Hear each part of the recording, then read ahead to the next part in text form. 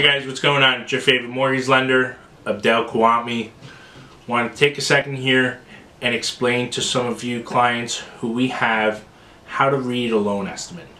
So when a loan estimate is first given to you, it looks like a very intimidating document, right? So you're probably looking at it right in front of you or expecting it any second now. So when you read a loan estimate, it's broken down in a lot of different subcategories. So the first page will break down for you your loan amount, your interest rate, and what your proposed payment is, including your principal, your interest, and your estimated taxes, insurance, flood insurance if applicable, and so on and so forth. And then you also have on the bottom two, you'll have the total cash to close and the estimated cash to close subjected to if you had seller's credit or a deposit.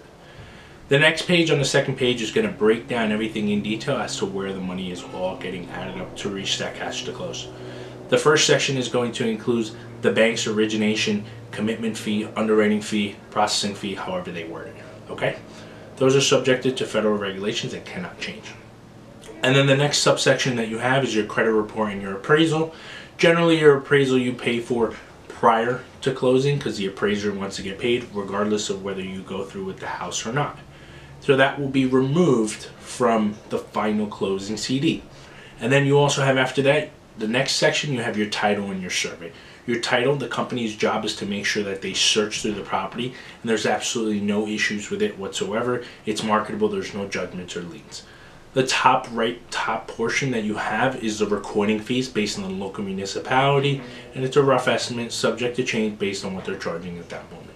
The next two sections, which is generally the most expensive, is your prepaid and escrow. Basically like a piggy bank the bank holds onto in order to avoid if you were to be unable to pay they can tap into it. If it exceeds a certain amount every year you will get an annual escrow notice that goes back to you. If it exceeds over $50 they have to give it back to you. If you owe because your property tax and insurance went up then you would have to be subjected to paying that back. And then you have your attorney's fee and then in some instances your realtor's fee generally in a lot of cases most of the times the seller compensates for the realtor for their fees and you don't have to. That's pretty much it, how to read the loan estimate.